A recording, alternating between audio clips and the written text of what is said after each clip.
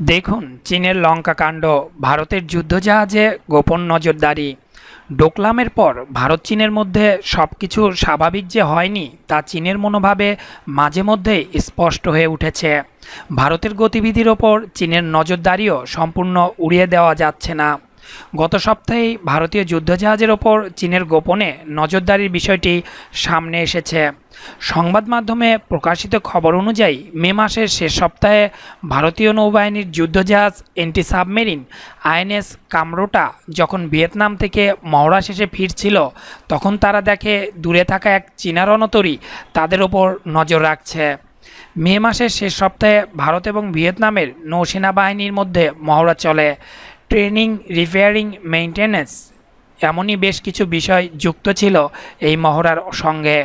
তবে চীনের এই নজরদারি বিষয়ে এর আগে ভারতীয় নিরাপত্তা সংস্থা সরকারকে অবগত করেছিল বলে জানা যায়।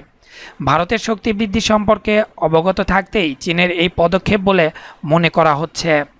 প্রসঙ্গত, বাহাত্তর দিন ধরে ভারত চীনের ডোকলাম সমস্যা দুই দেশের সম্পর্কে যথেষ্ট প্রভাব ফেলেছিল। সাম্প্রতিককালে প্রধানমন্ত্রী নরেন্দ্র মোদী এবং চীনের প্রেসিডেন্ট শি জিনপিংয়ের মধ্যে বৈঠক হয়। এই বৈঠকের ফলাফল হিসেবে দুই দেশের সম্পর্কের উন্নয়নে আশাবাদী অনেকেই।